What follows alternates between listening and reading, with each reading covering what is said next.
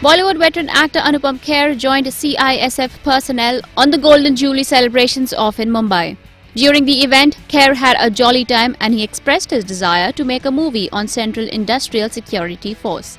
जे आपका कोई भी इंसान मुझे अगर ऐसी कहानी देगा जिसमें ये सब चीज़ें जो आप मिश्रा जी कह रहे हैं वो होती तो मैं पूरी कोशिश करूंगा उस कहानी को किसी प्रोड्यूसर तक ले जाने की किसी डायरेक्टर एक चीज़ मैं जो सजेस्ट करना चाहता हूँ जो आपकी बात से मुझे मन में आई कि आई I have an acting school.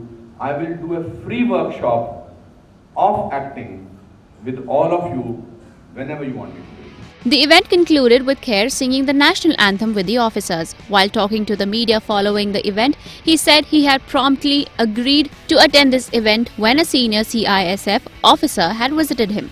On the work front, Anupam Kher will be seen portraying the role of former Indian Prime Minister Manmohan Singh in The Accidental Prime Minister.